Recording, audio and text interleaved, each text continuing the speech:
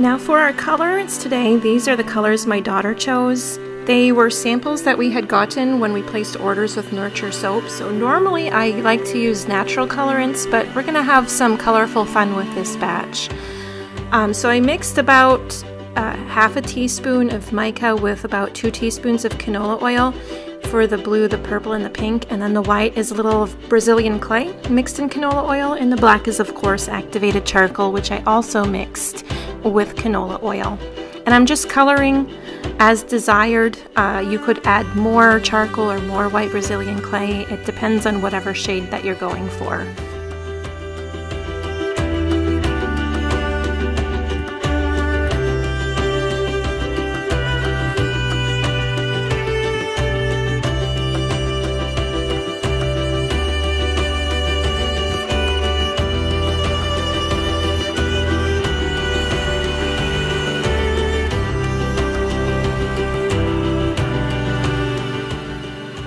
Now for this technique, we're trying to keep our trace fairly thin, maybe slightly medium to thin.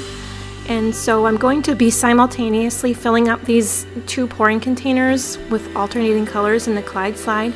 And one of the keys, I think, to getting a nice design is to make sure your colors are contrasted each time you pour a little color down the center.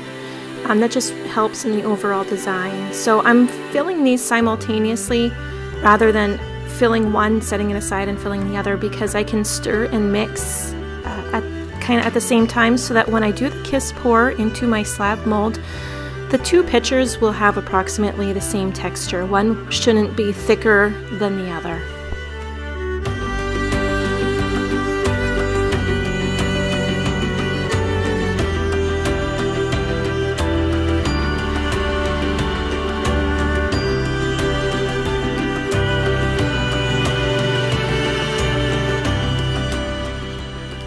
Now this is the very fun part right here for the kiss pour where you kind of kiss the two pitchers together and you pour them as one.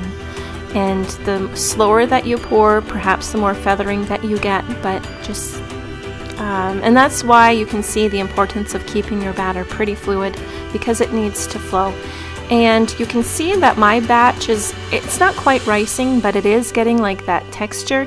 And I attribute that to the peppermint essential oil that I use. Whenever I use peppermint this is what happens. But it's still um, it's still poured very well despite looking like chalky in texture like that